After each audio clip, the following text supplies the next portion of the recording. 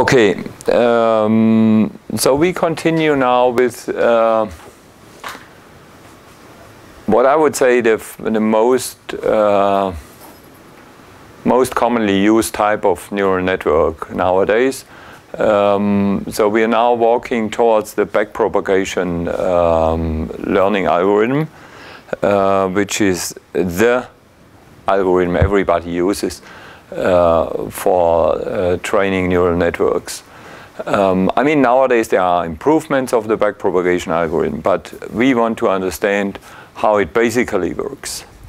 And now the idea behind this algorithm is, I mean, if, if it wouldn't have been invented uh, from the neural network community, I would just call it function approximation, nonlinear function approximation. That's what it is. Yeah?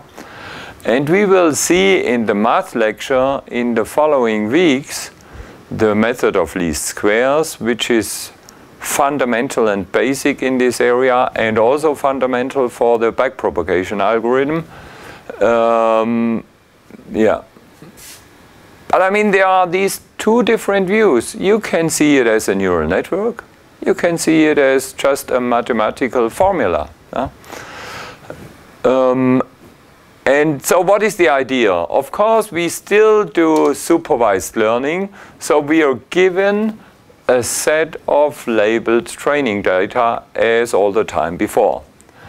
So that means we do have our input patterns and the corresponding output patterns and uh, capital N of them. Yeah? Um, yes. And I mean the length of the input and the output uh, output patterns they don't need to be the same. Uh, so the input uh, vector has a length of n and output uh, vector a different length. Um, yeah. And and also our input uh, values, the, the individual values of the input and output vectors, we can assume for the following that they are uh, real values between 0 and 1. Uh, but that's not really important. We can, we can do the whole thing with arbitrary real numbers too. Okay, but what's very important now is this formula um, we want in the following to minimize this so-called quadratic error. What is this? Look, what, we, what do we have here? Let's start with this. This is the target, the output vector for pattern number P. Huh? So that's the output of our neural network. And what is this? So no, that's not the output. It is the target output. Yeah? One of these training pattern outputs. Yeah? And what is this? F of QP. This is the P's input. This is the input corresponding to that output. And what is F? F is our black box. F is our black box of uh, neural network mapping input number p onto output number p. So let's draw it like that. So this is our box F and as an input we get this vector qp and as an output we get f of qp. Huh? Okay. Um, that's what we get here. And now the question is, is this f of qp equal to tp, equal to the target value?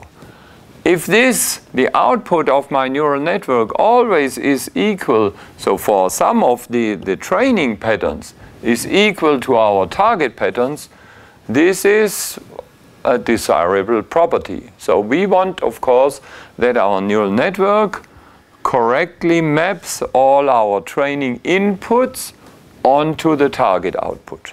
Uh, so that's what we want to have. But this is not always fulfilled.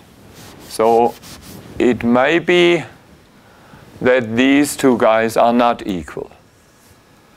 And because they may be unequal, what we do is we compute the difference between these two guys and then we square it um, and that's what we have here. So this is the squared distance between the actual output and the target output. So is this clear? Because this is really fundamental for the, for the whole rest of this chapter. And now, uh, we don't do this for just one pattern. We take the sum over all our training patterns. And this sum, we want this sum to be as small as possible. So in the following, we are looking for algorithms that minimize this sum of squared errors. Yeah? That's what we are looking for. And there are many algorithms um, that do or try to minimize the sum of squared errors over all patterns. Yeah? Yeah. Um, yes.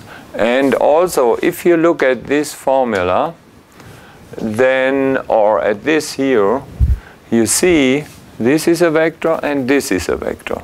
Huh? Um,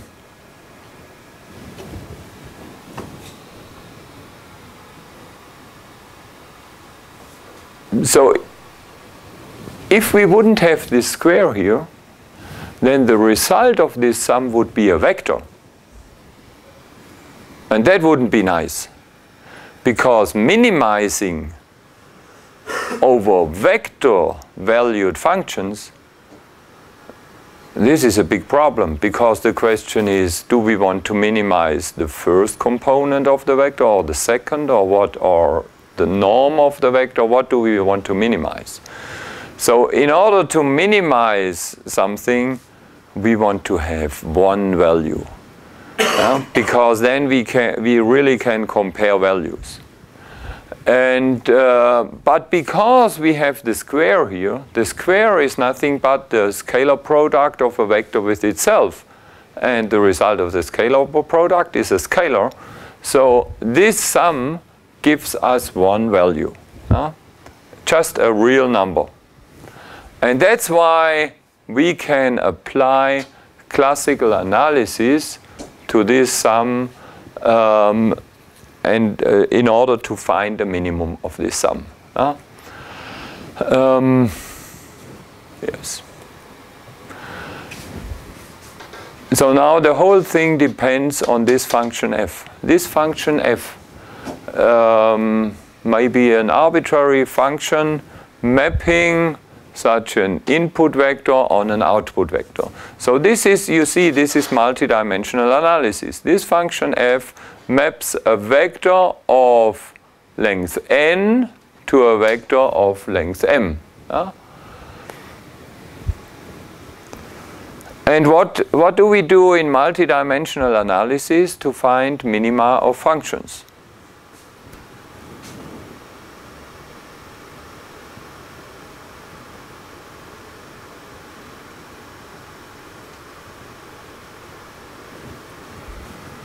What did we learn in mathematics? We compute the gradient and set it to zero. Yeah, yes, yes. We compute the gradient and set it equal to zero. And that's then um, a necessary condition for a minimum. Huh? But I mean, in this general case, there is no gradient. Why?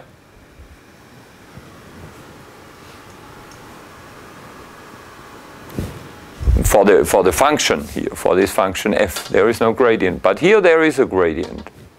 Why do we have a gradient of this sum but not of our function f?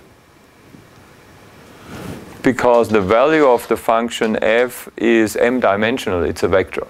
The gradient is only defined for functions f uh, mapping from Rn onto R. So the value of the function must be a scalar. But that's, I mean, uh, we had talked about this. This sum of squared errors gives us a scalar value, so we can compute the gradient. We can compute the gradient of the sum of squared errors and set it equal to zero, and then uh, compute a solution. Yeah? yeah, so let's look at, um, yeah.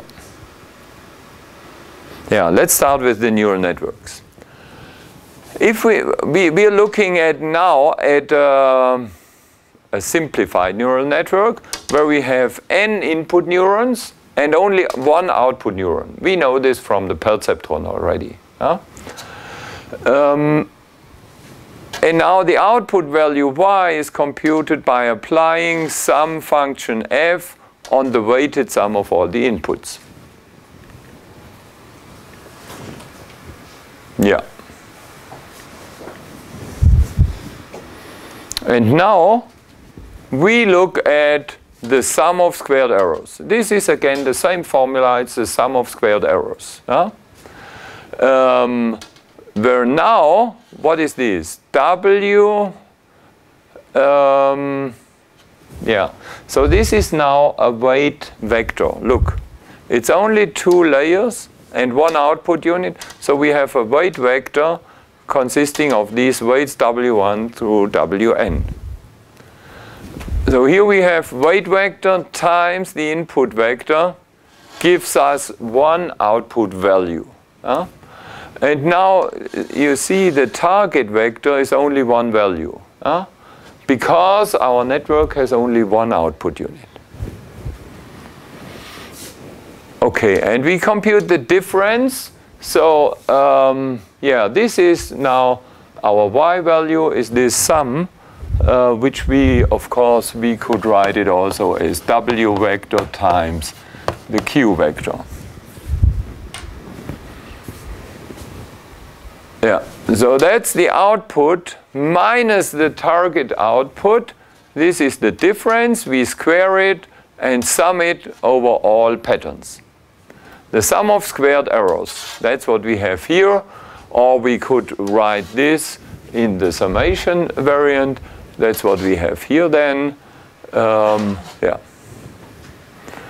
And now our necessary condition for a minimum of the error function, we compute all the par partial derivatives with respect to these wi's. Yeah?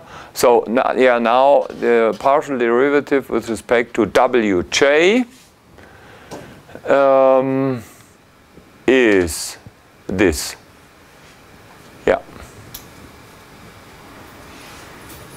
Now, what is the partial derivative of this function with respect to wj?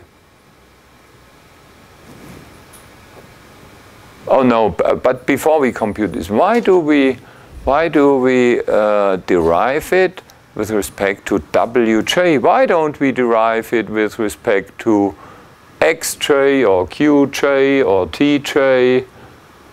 Why with respect to these weights? That's very important.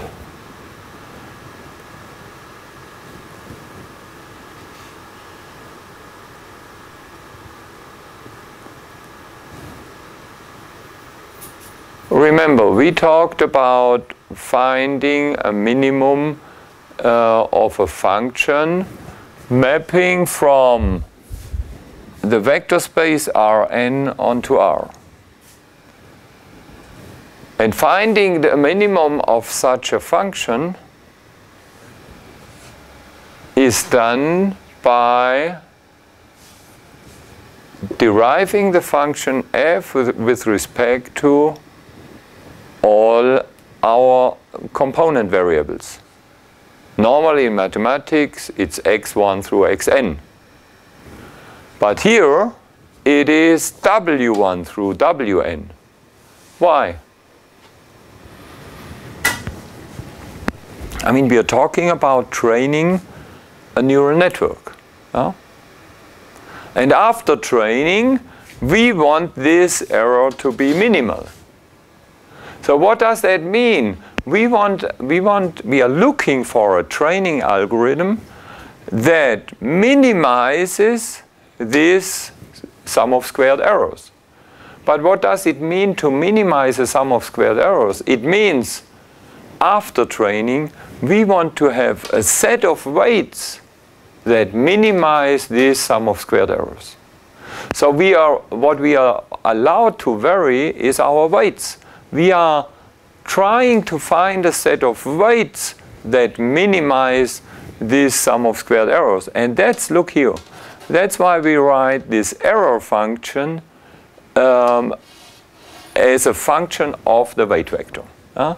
The error is a function of the weight vector, and because we are looking for a weight vector, we have to vary the weight vector, and that's why we uh, use the derivatives with respect to the wj. Yeah? That's very important.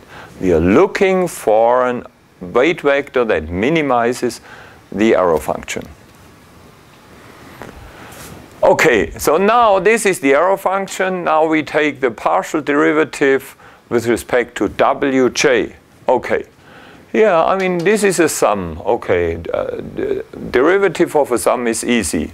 So we can put the derivative inside. Um, and now we have here a term squared. The, the derivative of some function squared is 2 times the argument that's why we have the 2 here. 2 times the argument times the inner derivative. Now we have to take the derivative, the partial derivative of this term with respect to wj. And now here we have a sum of these terms, wi times qip. And the partial derivatives of all these terms are 0 um, apart from uh, the term with i equal j. Yeah? Now wj times qjp derived with respect to wj just gives us qip, uh, jp. That's what we have here. I mean, this is our variable times a constant factor. So what remains is the constant factor. Okay, so that's the partial derivative. And now, I mean, I don't continue in the computation here because we will do this in the math lecture quite soon.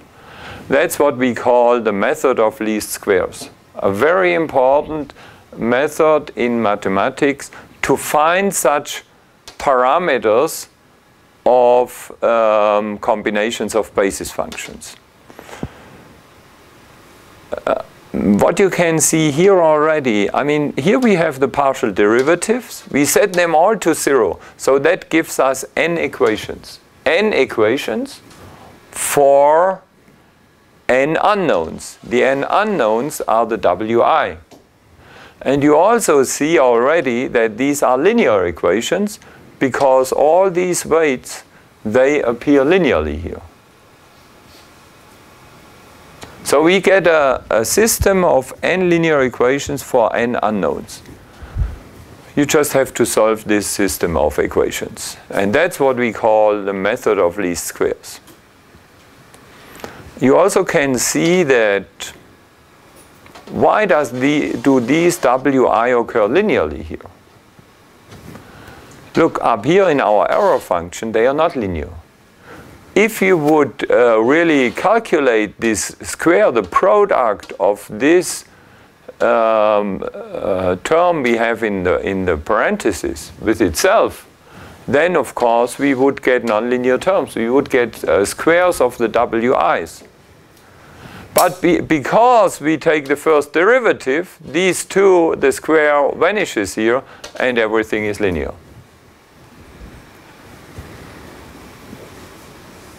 Okay, yes. So now I just skip over this least squares method and uh, refer you to the math lecture. Um, and we don't continue with this. We just continue here because this is the method used in neural networks. Look, we continue at this point where we have the partial derivatives. Huh? And now, we don't continue as we did it with the least squares method. We don't set these partial derivatives equal to zero. We use a different method to find such a minimum. Huh? And now, yeah, let's draw a picture here. Suppose n is equal to 2. So we are working in two-dimensional space. And that means we are looking for weight number 1 and for weight number 2. And here we draw our error function. This error function is some function depending on these two weights. It um, might look like that. So if uh, that's um, suppose this is a contour plot. Yeah?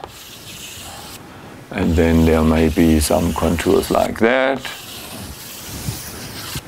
Okay. And yeah, suppose this is a maximum, let's put it as a plus, and this is a minimum with a minus here. Yeah?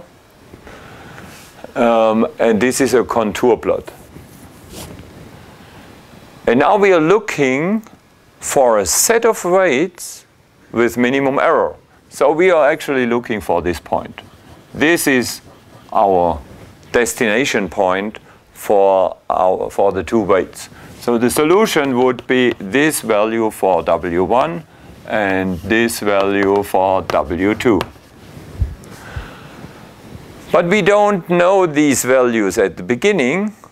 And now what we do is we do the so-called gradient descent we start with some randomly chosen value for the weights. Suppose we start here with this pair of weights.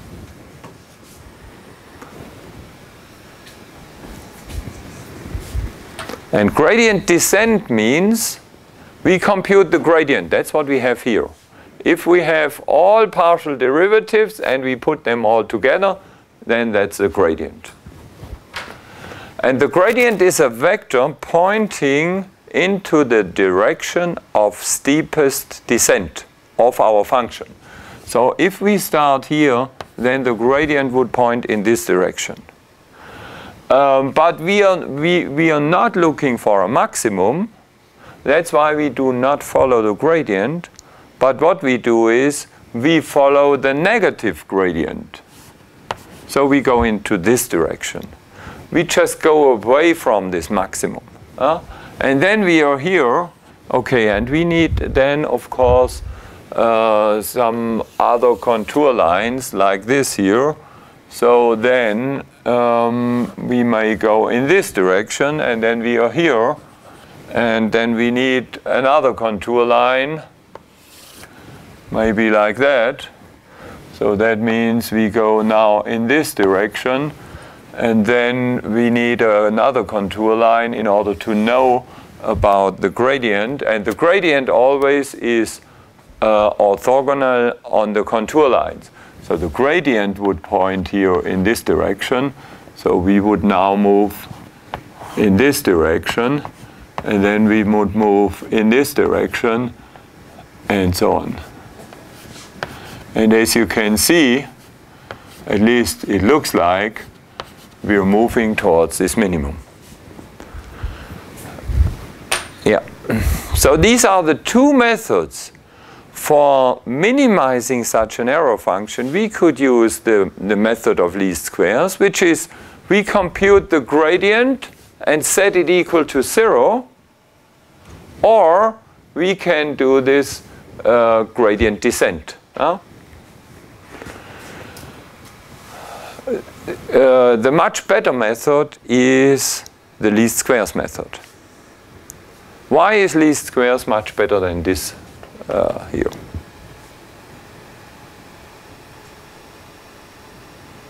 I mean, least squares I showed you. you. We compute the gradient, set it equal to zero, get a system of linear equations, and we just solve it. We use the Gaussian elimination and solve it. And within one iteration of Gaussian elimination, we have solved the whole problem and we know the weight vector.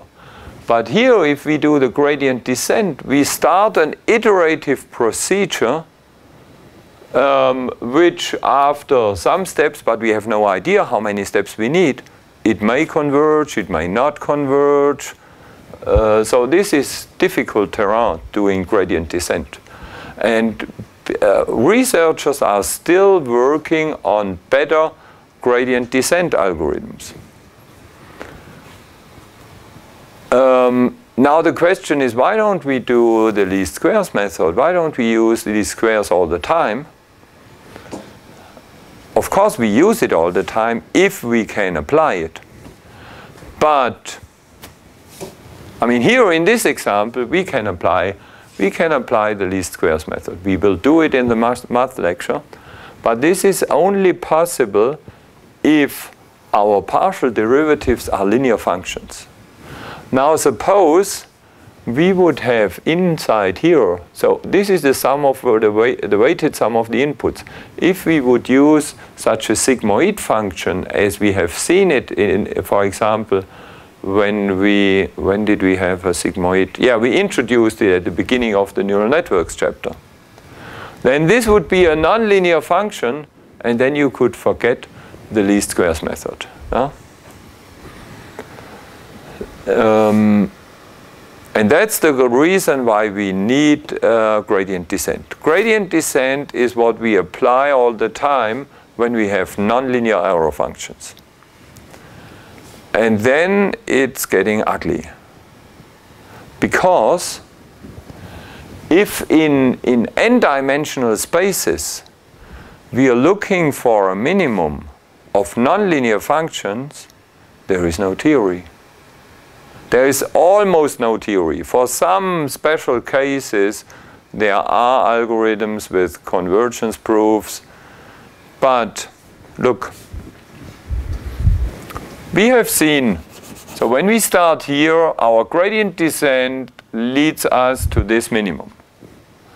But now suppose in this two-dimensional space, there are some other minima, like this one here, and this one here, and this one here, there may be infinitely many minima. Our gradient descent, depending on where, where we start, if we start here, it will lead us to this minimum. If we start here, it may lead us to this minimum. And if we start here, it leads us to this minimum. And if we start here, um, yeah, it depends.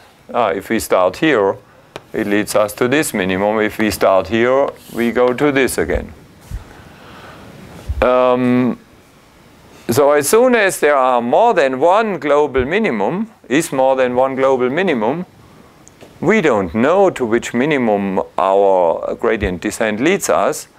Um, and the unfortunate thing is, maybe this is really the global minimum. And these are local minima which are not good. So that local minima means maybe here the, the, the mean squared error is 0.01, but here it is 0.7, and here it is 0.8, and here it is 0.9.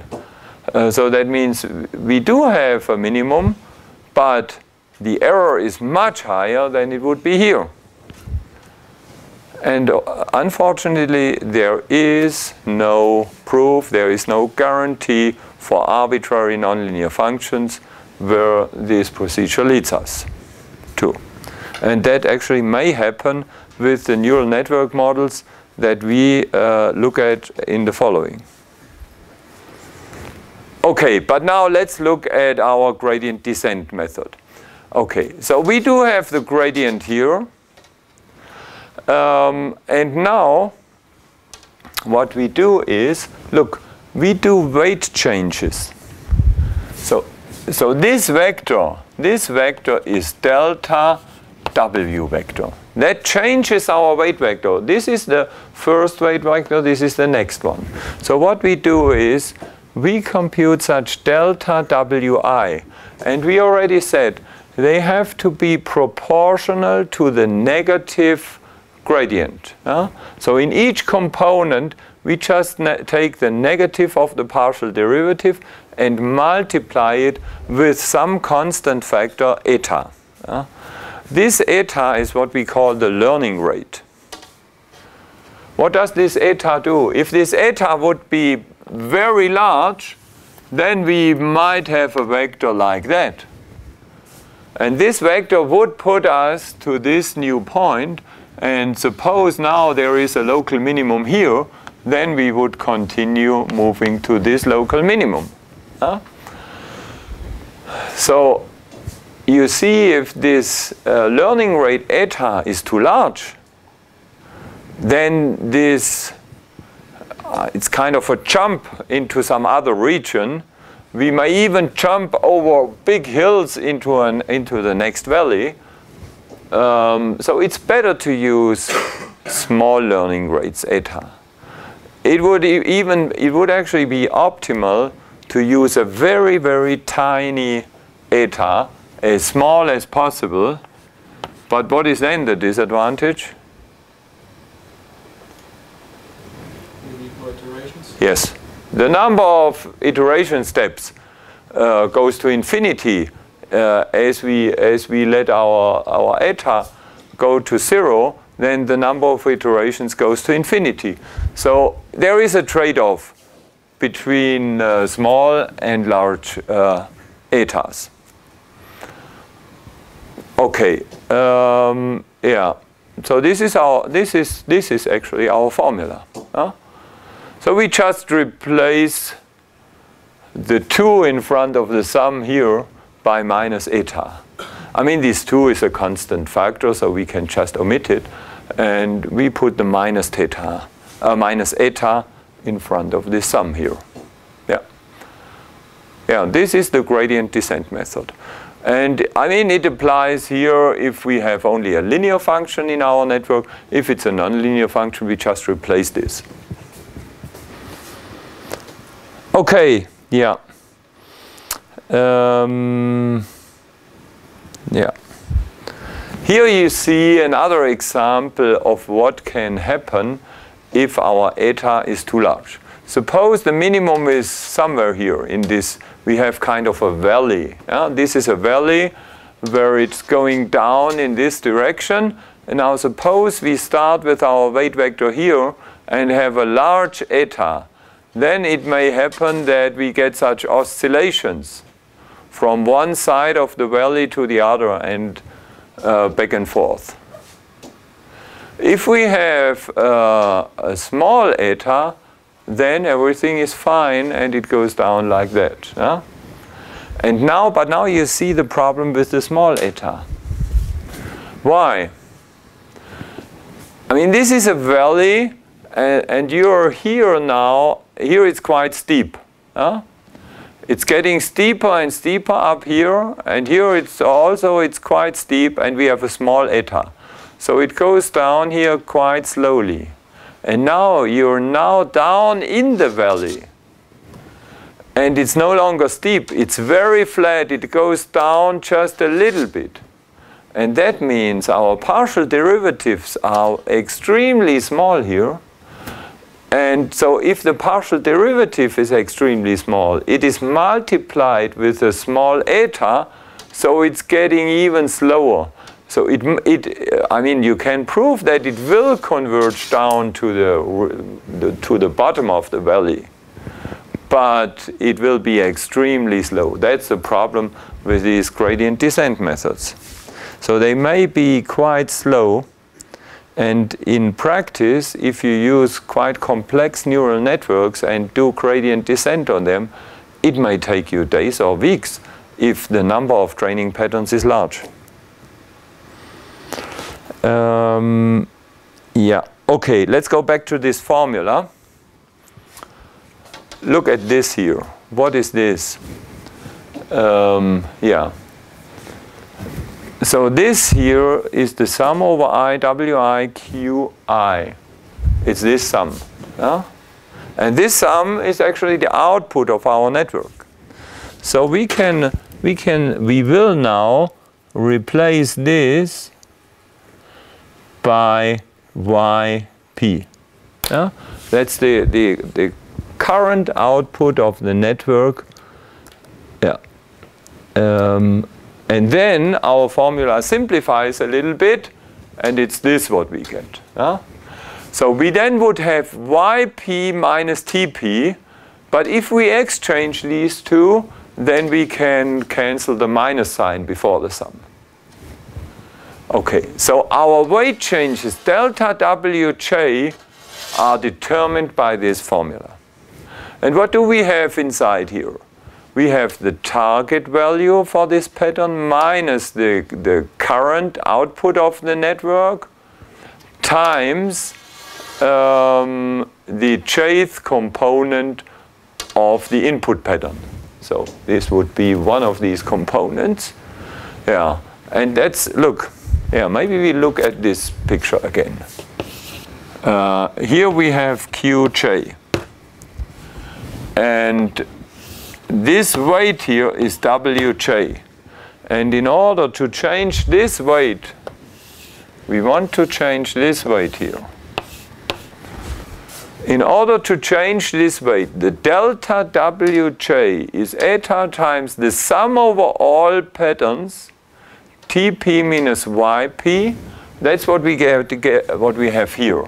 So this is Yp, and then we would get an index P here. Um, and then uh, we sometimes we draw it like that. We have the Tp. Um, oh no, it's the upper index P. Sorry. And then we compute the difference between the target value and the current value. That's what we have here.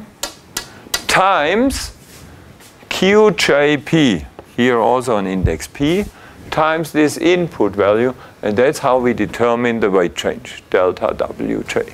Okay, and now we can look at the, the pseudocode of the algorithm. Uh, we call it delta learning because of the delta uh, for the weights. Um, the input are the set of training examples and our parameter eta. First, we initialize all weights arbitrarily. That would mean in this picture, we just randomly select one point here. And then we go into this uh, loop. And inside here we have another for loop. And in this for loop, we compute this sum here. The sum over all patterns. Yeah? And this for loop is nothing but the sum. Yeah? So for all training examples, compute the network output yp um, okay let me see yeah mm -hmm.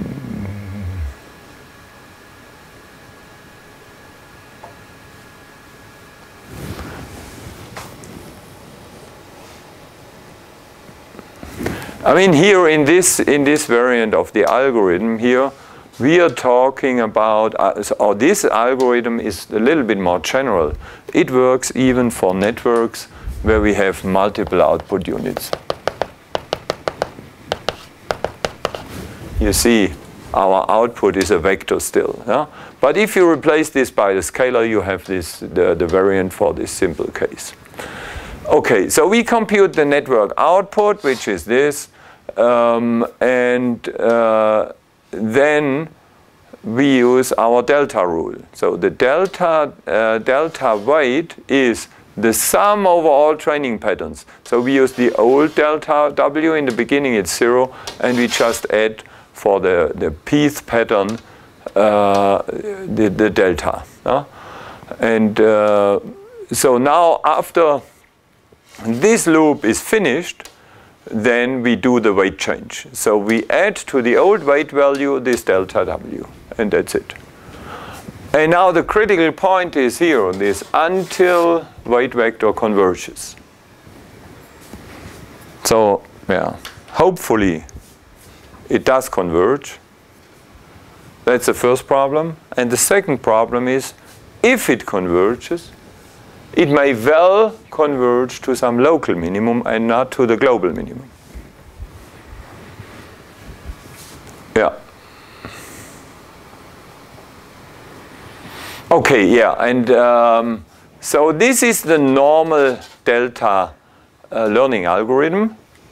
There is a variant of this learning algorithm um, where we,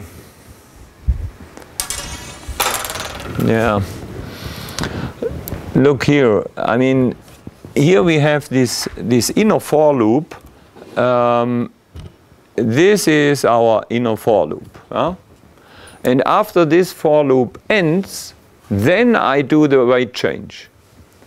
But we could um, do a slight change in this, oh sorry, in this program. We could just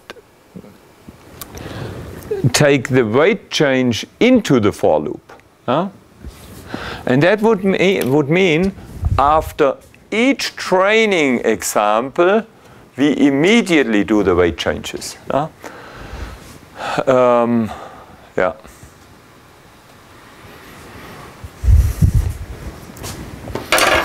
So both is possible.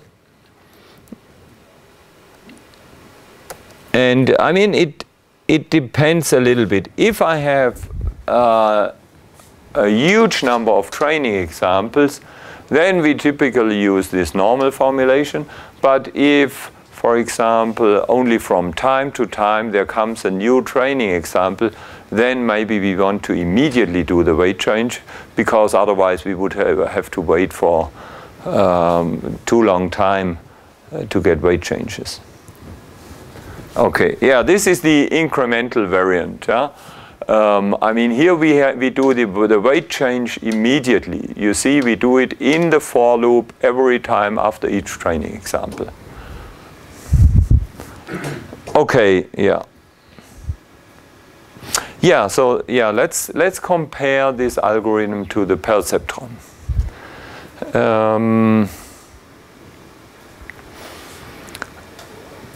First, what is common to the perceptron is, if you look at this picture, this is actually the same structure that we have in a perceptron. Also, our output function of this output neuron is linear. So everything is the same as it was in the perceptron. But of course, there is one difference. The perceptron is a classifier. The perceptron does a binary decision it, as an output, the perceptron only gives a 1 or a 0, and that's it. Yeah? But here we do approximation. We may have arbitrary outputs. Yeah? Um, that's the first uh, difference. And the second difference is that the learning algorithm is different. I mean, there are some similarities in the learning algorithms too, but I don't want to look into these. Um, yeah, okay. And, and of course, I mean, the perceptron, we have a, we have a, a convergence guarantee for the case uh, that uh, the two classes are linearly separable. So you see, this is really only about a two-class problem. Um, and here we do a function approximation. Yeah? Um, yeah, and uh, so in the function approximation case, um, if our function, output function of the neural network is linear, we could do least squares, um, but we could of we can of course also do gradient descent. Yeah. Okay, and once we have learned such an approximation function, which gives us as an output values between 0 and 1, um, we could actually then transform this into a perceptron. So if we really want to have a binary decision, we could, of course, then finally apply. So if our output, we could say if uh, yp greater than theta, then uh, output output 1 else? Um, output. Zero.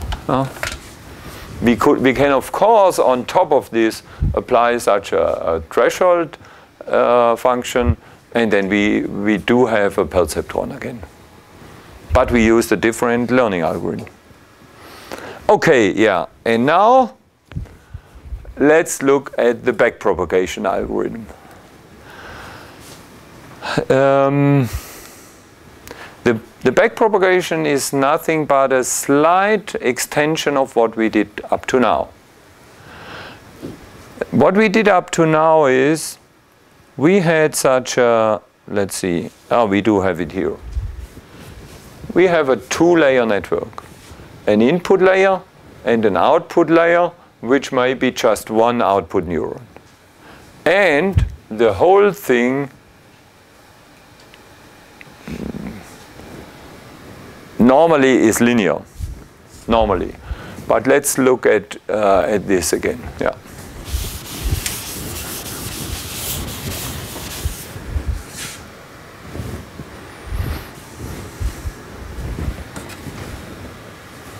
This is our output. Yeah, I mean here you see it's linear. We could of course apply such a sigmoid function. We could say yp is equal to f of the sum over i w i q i. And now this function may be nonlinear. Uh, you know these uh, sigmoid functions, they look like something like that. Um, x, f of x and this, of course, is nonlinear.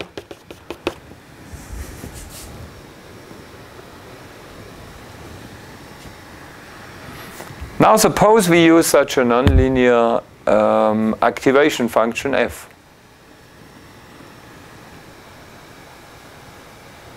And the question is, would this change the whole thing? I mean, first of all, it would make the derivation of these formulas um, yeah, no, everything would work. We have TP minus YP. I mean, the YP, the output, now is a little bit different. We apply our nonlinear function, but that's no problem. We could just apply the nonlinear function. And uh, so we can use the whole algorithm. Um, but the point is that we don't need this f. It does not help us. As long as this f is such a sigmoid function, it doesn't make uh, any serious changes. Why? Um, because, because these sigmoid functions are str uh, strictly monotonic. So that means if the output of the sigmoid function uh, for some value is bigger than for some other value, then this relation holds for the inputs too. So because f is monotonic, it doesn't matter whether I apply f or I do not apply.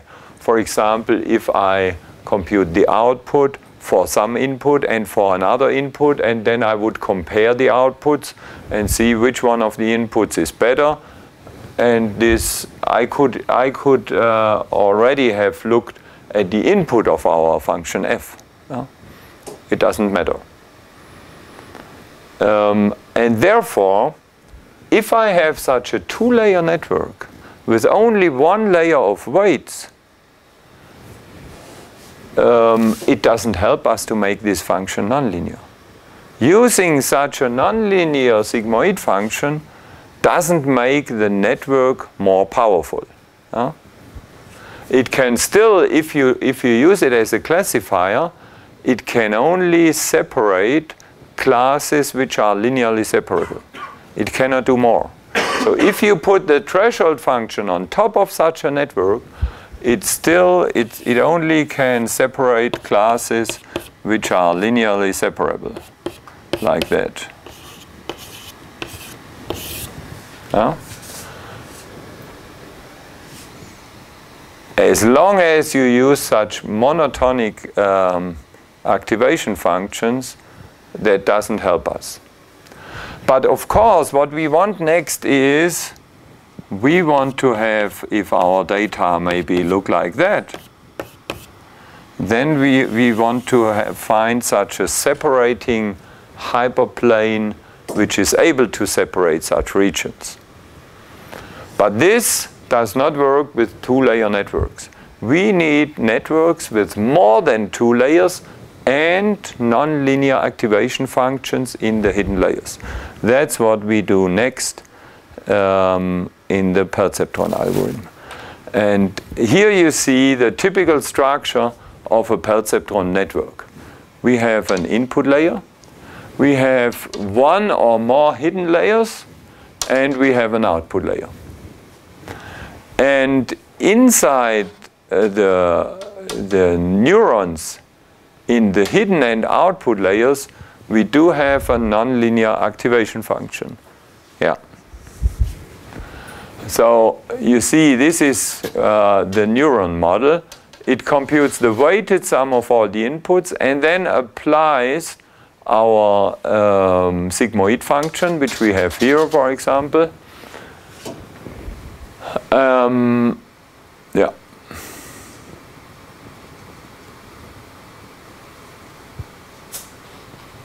That's what we do in this network.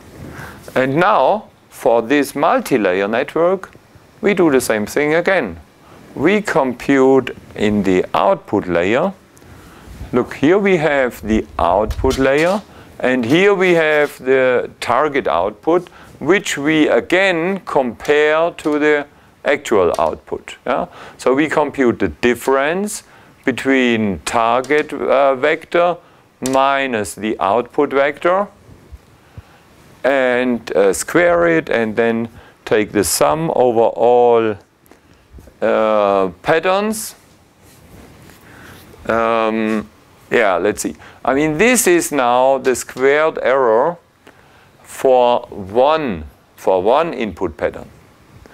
And uh, the sum here, this is the sum over all output units. So if I have more than one output units, I take the sum over all output units um, of this difference. Yeah. yeah.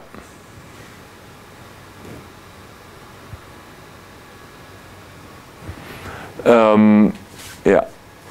And if, if for, for only one training pattern I want to make these immediate changes, then um, we use our delta rule, which is, uh, which is uh, well known already. So we take the partial derivative of this error with respect to the weights, to all the weights, wji. So in order to change the weight wji, I take the derivative with respect to this weight. Multiply it by eta with the minus sign, and that's it.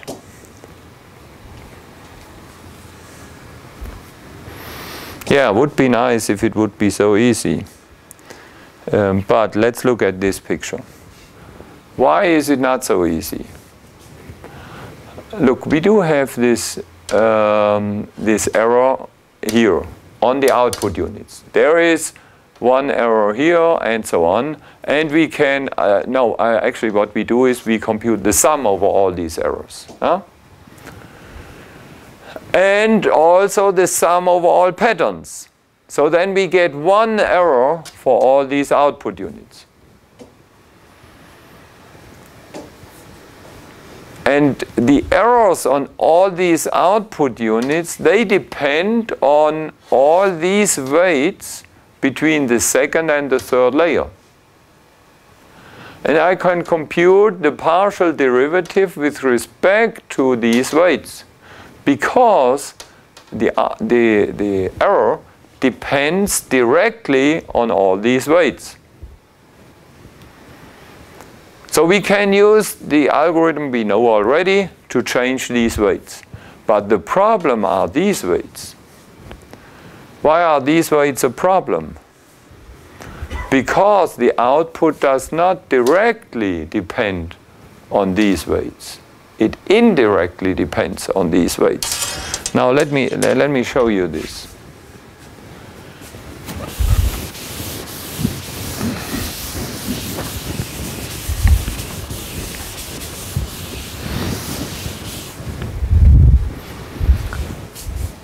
Um, yeah, let's look at this output unit. Okay? So this output x p j. Or yeah. Is equal to f of the sum over k equal 1 to um, let's call it nh like hidden layer. Yeah? The number of units in the hidden layer w i j or is it w j i let's see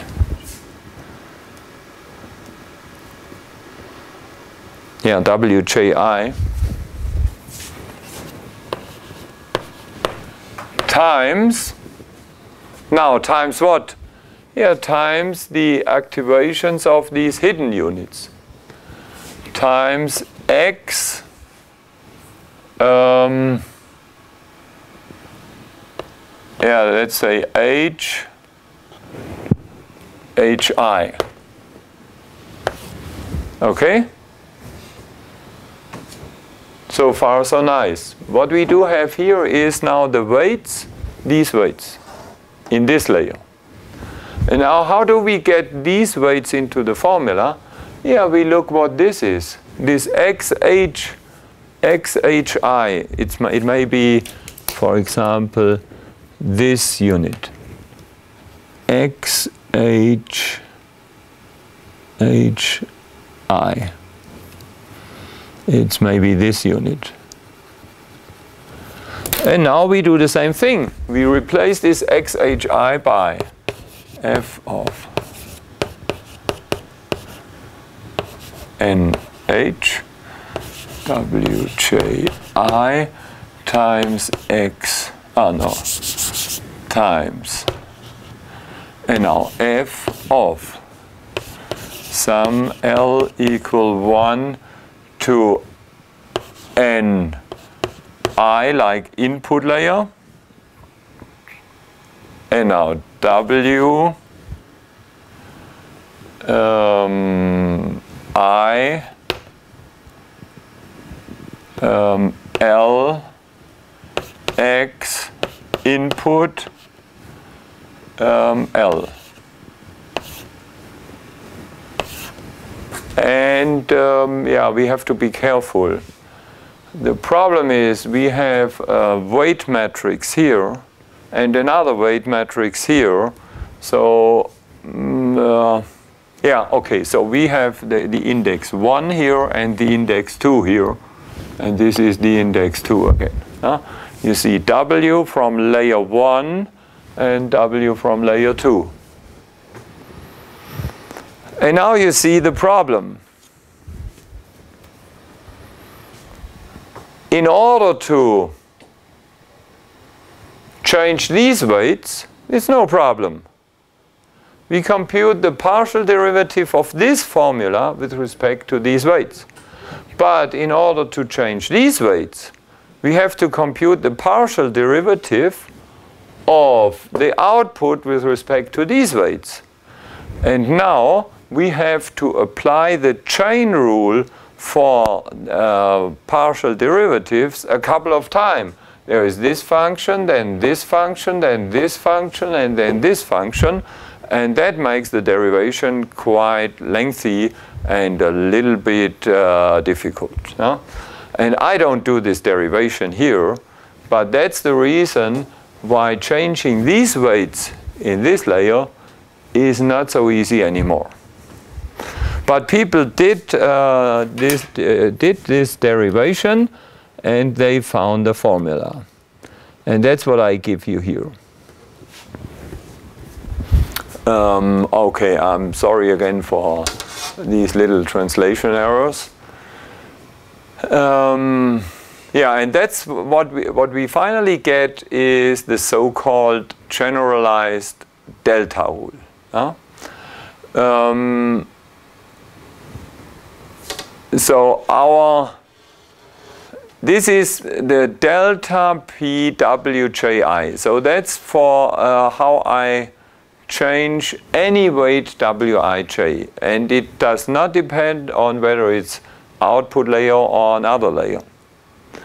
This is our learning rate eta times this value, uh, that's a lowercase delta, j times xi.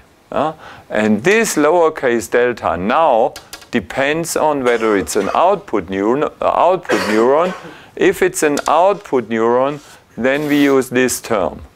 If we would omit this term, this 1 minus term, that would exactly be what we had before. Huh? Um, now this term is introduced, I mean there is a reason why this term is being introduced.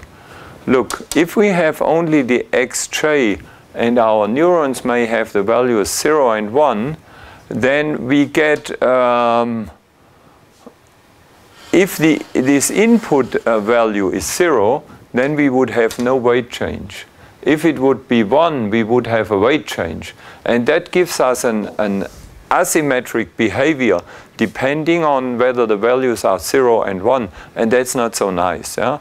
Um, in order to get symmetry between 0 and 1, we just multiply it with this. Because now, if uh, the input is 0, then the product is 0. And if the input is 1, the product is 0 too. So then we have uh, we get this symmetry. Uh, so th uh, that's why this uh, introducing this term makes sense. But all the rest is the same as what we had with the delta rule before.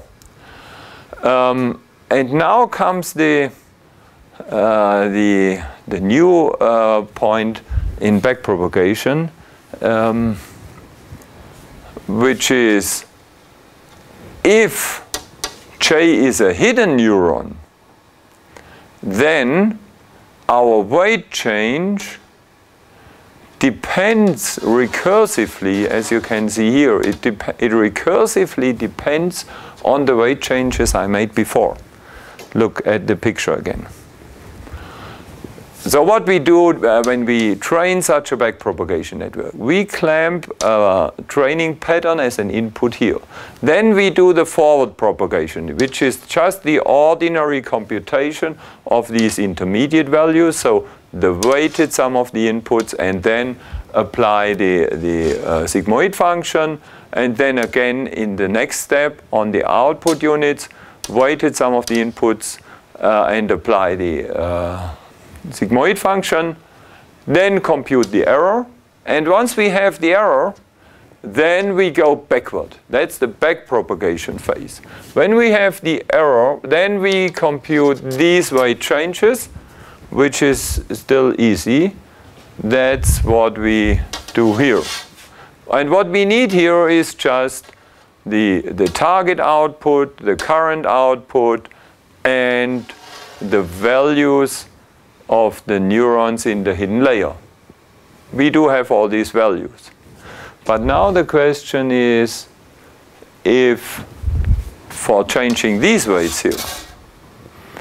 And what we need for changing these weights, because it kind of backward depends on what we did here, um, so now we have a recursive formula. So the weight change for, um, we computed these deltas um, yeah, we computed these deltas. These are the deltas for the output layer. And we know them. We store them. And then we use the deltas from the output layer for the hidden layer. Uh, and compute the deltas for the hidden layer. Yeah. And so, yes, and in order to understand these indices here, um, the, so these k and uh, j and so on, this is explained here. Um, yeah. So what's very important, so the notation here is Wji is the, the weight uh, going out from neuron I into neuron J. So Wji is the weight from neuron I to neuron J. That's very important. Yes.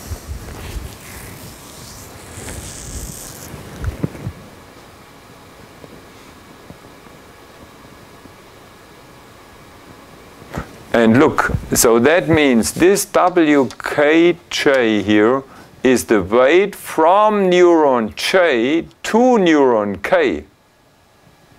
So that's very important. These weights here, if I do the weight changes in the second layer, uh, unfortunately we can have only one slide here. Yeah, I draw this picture again.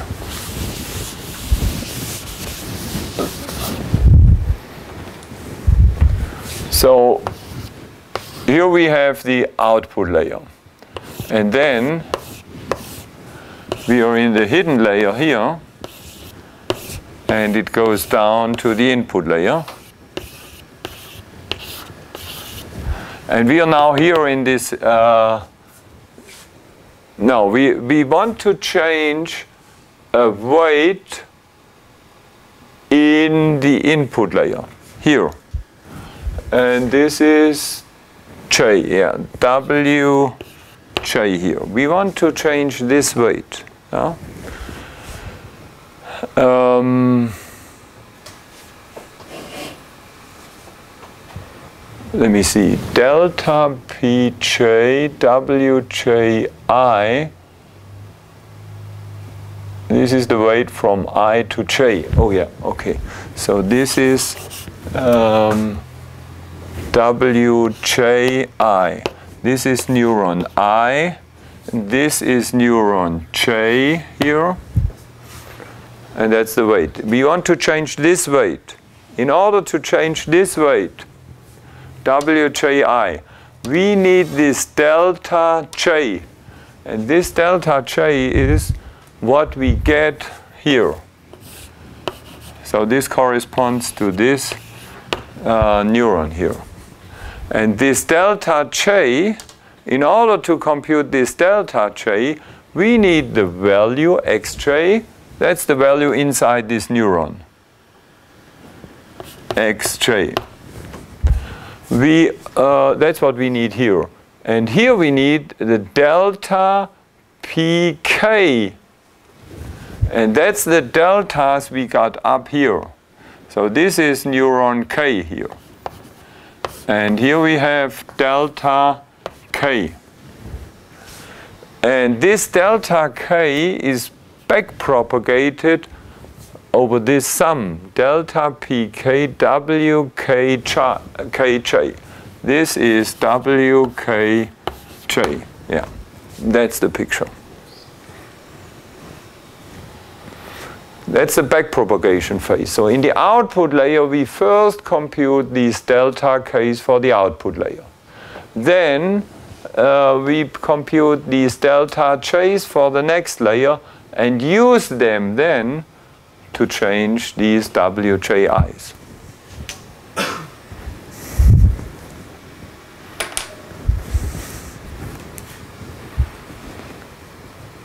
Okay, yeah. Um, yeah. That's basically it. Yeah maybe look into uh, the uh, algorithm scheme. So first we initialize all the weights arbitrarily, randomly typically. Then we have this loop over all training examples. Um, yeah. So we feed uh, an input vector qp into the hidden into the input layer. Then we do the forward propagation for all layers upwards. For all neurons of each layer, we compute the activation. Um, then we compute the, the squared error in the output layer here. Um, and then we do the backpropagation for all layers, oh, upwards. No, that, that must be downwards, of course, sorry. Is this, is this error in the book too?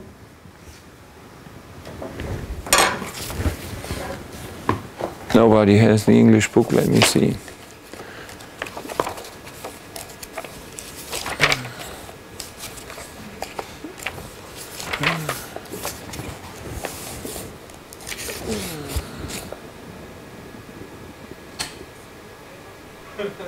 Okay, yes, so this is correct in the book.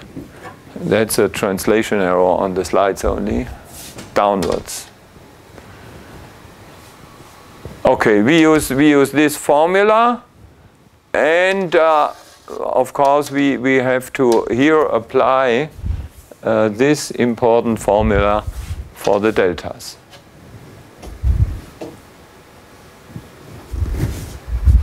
Okay, and here you see the problem of this algorithm. Until W converges or time limit reached. And of course, this is not nice if you reach the time limit and it did not converge. But that's a problem of the backpropagation algorithm. There is no convergence guarantee first. And second, if it converges, you don't know whether it's a global or a local minimum. But the good news is that quite often it works very well. It converges to, uh, I don't know, maybe the global mini minimum or a quite, quite a good local minimum. Uh, I mean, it, it may, ah, we don't have the picture anymore. It may happen that it converges to a local minimum, but the, the squared error is very close to the best one, so then it doesn't matter. Okay, yeah, that's about the backpropagation algorithm. Um, yeah, and the, the, the, very important feature is with this algorithm, uh, it's possible to learn nonlinear mappings. And what's even more interesting and nice is that we don't have to worry about the nonlinearities inside these functions. It is a generic algorithm um, and it turns out that it is able to learn quite a large class of functions. But um, we need to use a hidden layer. We need to use a hidden layer. Oh, I erased it again. Because the, these nested applications of sigmoid functions makes it inherently nonlinear.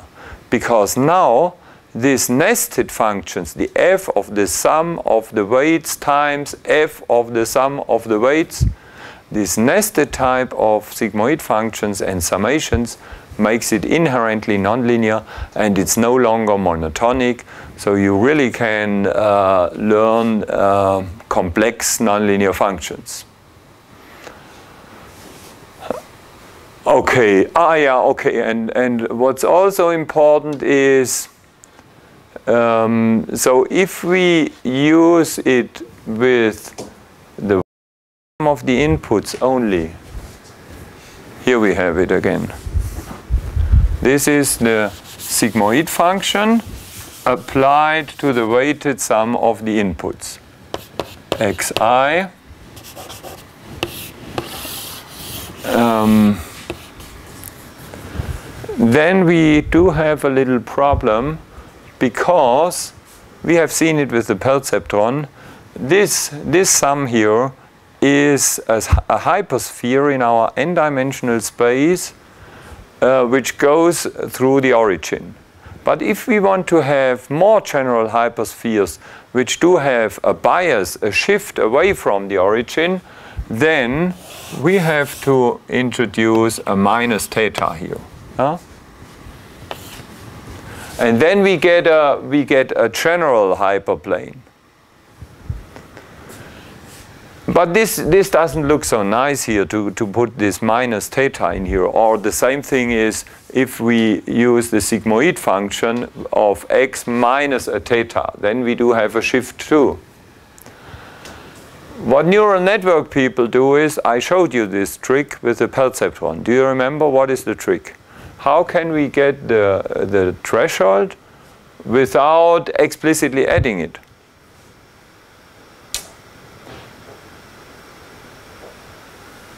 What did we do in the case of the perceptron? We added a 1 to the vector? Yeah. We added a 1 to the inputs. Yeah?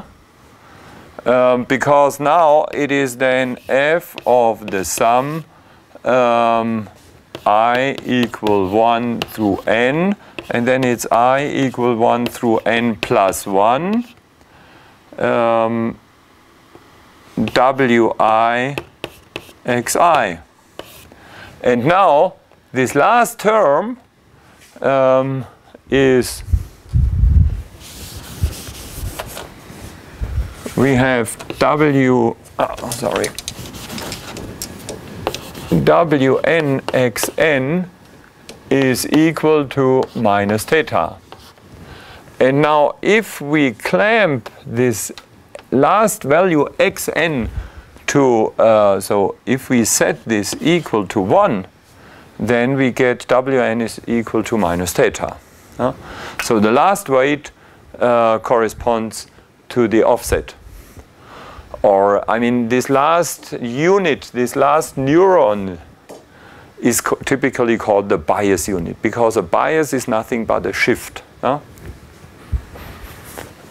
Okay, yeah. And it's very important that the weight of this last bias uh, neuron is trained in the same way as all the other weights. The only difference is that this last input is set to 1. It's fixed, it's constant. Okay, and now let's look at a nice, a very nice application, the NetTalk uh, system. You see at this uh, um, number here, in 1986, this was uh, published by Sejnowski and Rosenberg. That was right at the time where the neural network enthusiasm began. Uh, from this time on in the 1990s, a lot of money was spent for developing neural networks. And this NetTalk system was one of the reasons. I mean, that was surprisingly uh, successful. Yeah, so yeah, a system learning to read aloud and understandable. How, does, how did it work? I mean, the, the idea was I want to have a software that gets as an input a written text, an ASCII text, and then speaks, uh, speaks this text. And that's how the backpropagation network they used looked like. Um, so it's a three-layer backpropagation network, and in the input layer, we feed the text. So suppose this is a part of the text, the, the, the three words, the father is. And now, here in the center of the input layer, this is, how much was it? 29 neurons. 29 neurons to encode the whole alphabet, A through Z, and then the blank, comma, and the full stop. Huh? So we need uh, 29 neurons to encode this. So, and you see it, it's here, it's an A. So the first neuron is encoded and uh, this is an F. So neuron number four is, uh, is active, and here it was a blank, so this neuron is active, and so on. Um, and what you also see is, as an input, I mean the output, let's first talk about the output. the output finally should be some sound. Huh? But the network, of course, cannot output sound. It can only output bits. So behind this output of the network, there is uh, another software that transforms our output bits into real sound. So there is another software and, of course, some hardware or a, a sound card, whatever. But what this network outputs is just some linguistic uh, intonation. So accented, uh, so this must be an accented uh, sound and it has to be deep and central. Central is something about how it works in the human mouth. Yeah? I don't know these encodings, but this uniquely determines how the output voice sound should be. Okay, so what the network learns is a mapping from the current input character onto how the sound has to be. Um, but, of course, the sound of such a character A depends on um, on the um, on the environment. So it depends on what character was before and maybe even the second character before. So what they did is they used um, such an environment of one, two, three, four, five, no, no, no, sorry, three characters before. Yeah, three characters before and three characters after.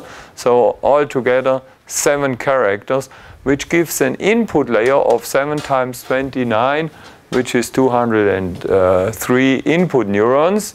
Then came 80 hidden neurons and 26 output neurons.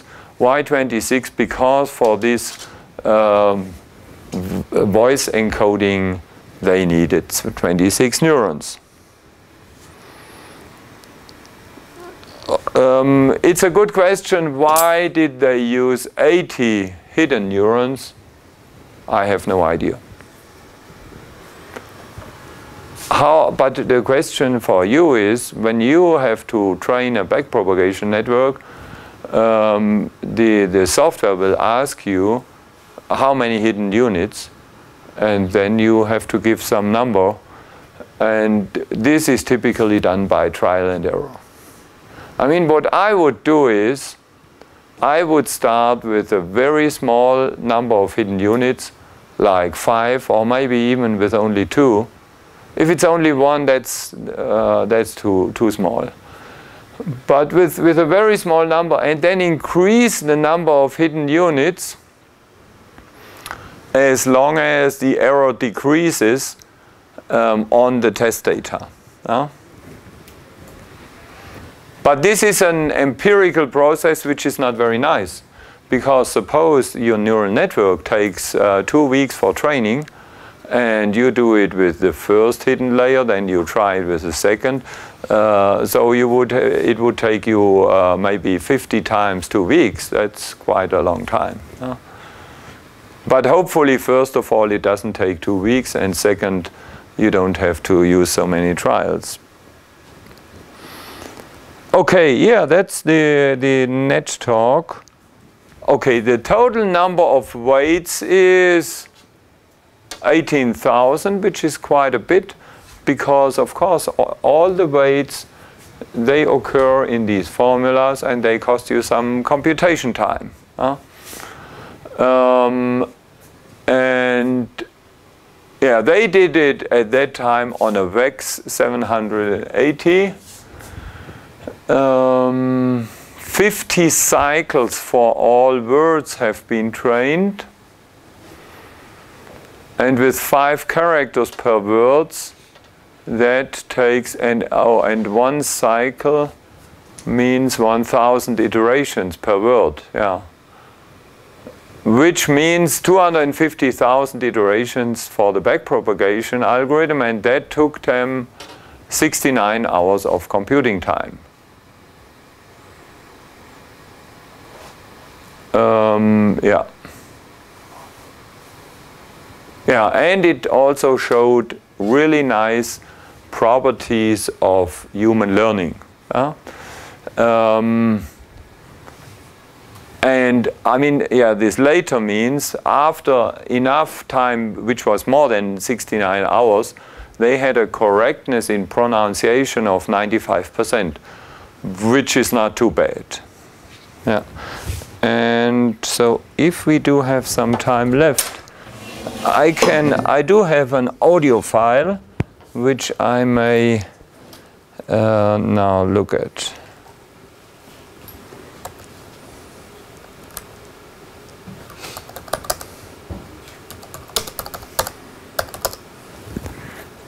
Um, yeah.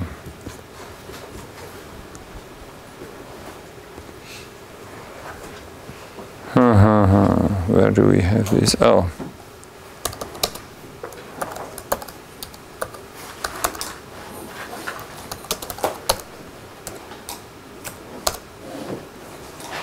Okay, yeah.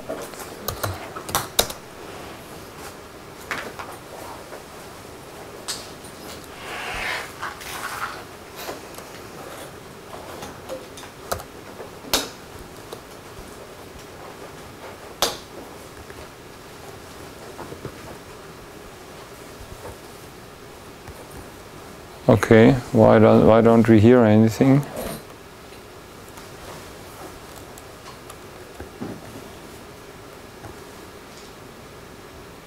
Why is there no output?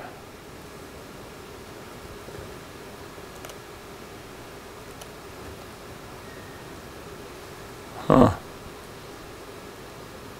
Stumm.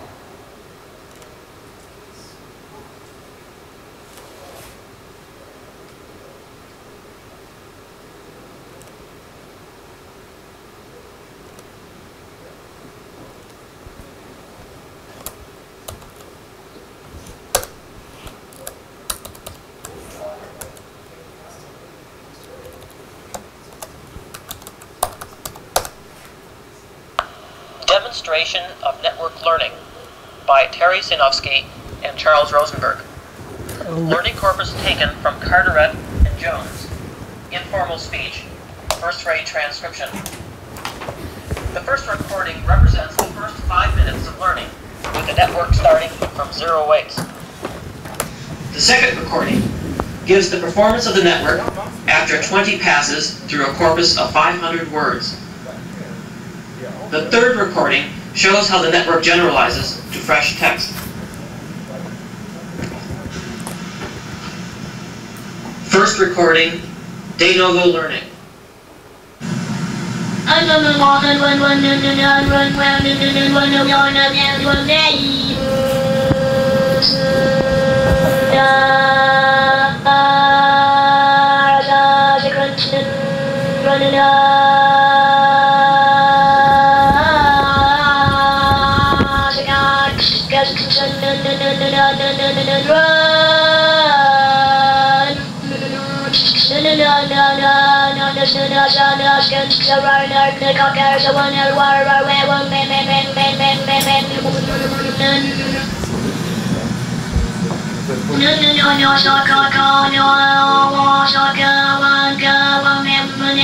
Maybe we skip a little bit.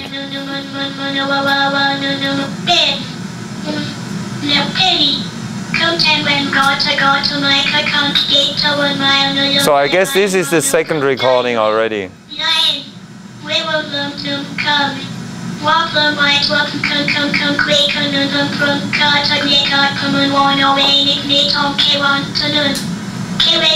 So now let's go towards the end. Get the odd crowd of his creep and then come all on in our bedroom palette. Love your vlogs. Uns. Uns. He keep jump jumping jumping and then space laid down and then he fell all out to the other. Better he starts rain and I could get to bed so I I get to wipe up put in bit in my crib. In our crib. No not in my crib. I don't have a crib. Lucy put in bit in your crib. I mean in his crib. I don't have a crib. Uh, sometimes I like to go to the I like to go to my grandmother's. I will like to sleep over at our bosom every day because she lets me stay up late up at 10 o'clock or 12 every. Lucky. I only get to stay up until 8. And I only get to stay up until 8.